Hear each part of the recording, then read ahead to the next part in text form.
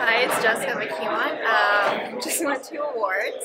The Team Made Real Estate Rising Star Award and the uh, First Deal Done. Hard work always pays off and when you surround yourself with people who have the same goals and aspirations, as you do, you'll get there much faster. Um, and that's how I got to where I am now. Uh, thanks so much for listening.